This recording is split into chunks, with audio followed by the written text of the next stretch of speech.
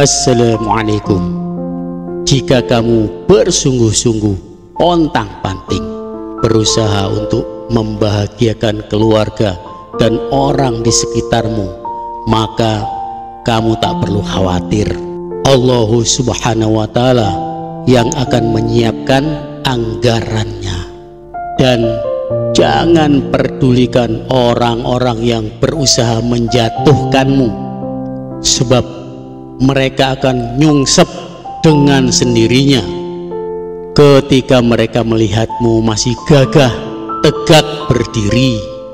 Jika kemudian para pembencimu itu nekat dan malah menzolimimu sedangkan kamu memilih diam dengan menelan amarahmu itu seharusnya mereka segera sadar diri karena hakikatnya mereka sedang mengundang kehancuran untuk diri mereka sendiri.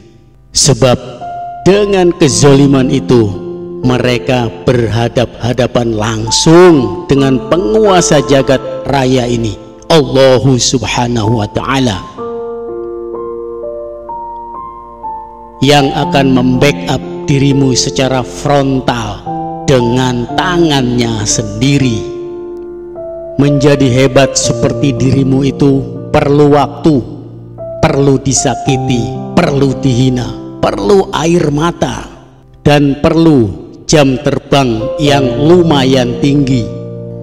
Tidak ada yang ujuk-ujuk simsalabim, karena semua yang sudah dibentuk itu diawali dengan pengorbanan dan kesabaran tingkat tinggi Hapus air matamu, wahai pejuang kehidupan. Kekuatan hatimu adalah cahaya dari langit. Karena itu, kamu mampu mendengarkan dan sanggup membantu derita orang lain. Padahal diam-diam, hatimu pun sedang remuk redam, dihajar dahsyatnya kehidupan. Semoga Allah Subhanahu wa taala melindungi kita semua hingga sampai ke surganya. Wallahu alam bisawab.